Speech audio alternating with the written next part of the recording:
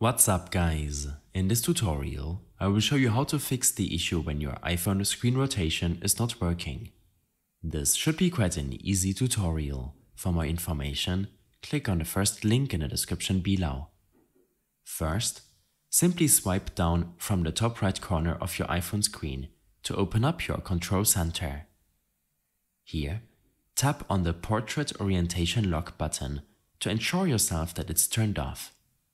You can then turn your iPhone sideways while using an app like Mail or Safari, which are known to work in landscape mode.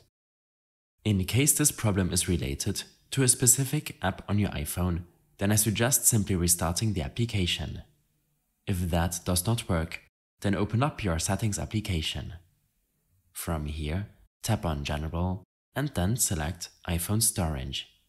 It will take a couple of seconds to load your storage information and you can then go ahead and look up the app where the screen rotation is not working. Here, tap on Offload App. This will clear up your app cache and reinstate the application, preventing any software glitches it might have had. In case nothing helps you out, then navigate to your software update settings. Here, download and install the latest update in case there's one available to you and proceed to restart your iOS device. Restarting your iPhone will restart all processes which will fix the screen rotation problem you are having.